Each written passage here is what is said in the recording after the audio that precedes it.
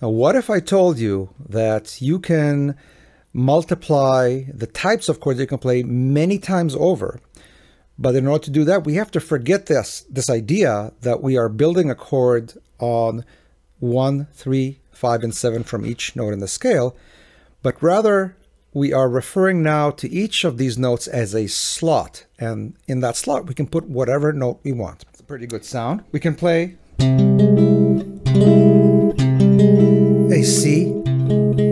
flat six, or that you can call it a, a sharp five, whatever you want to call it.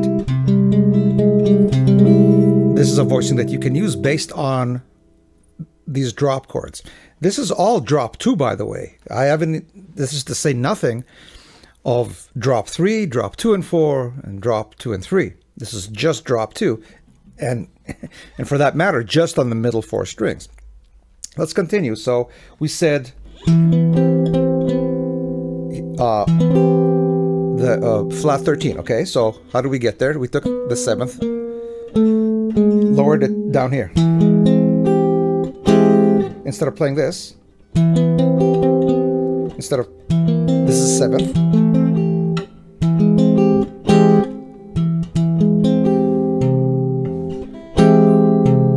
Great dark, mysterious uh, sound, odd sounding chord.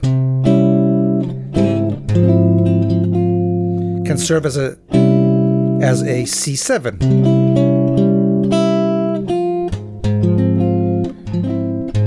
So in this case, I, I, I demonstrated the C7.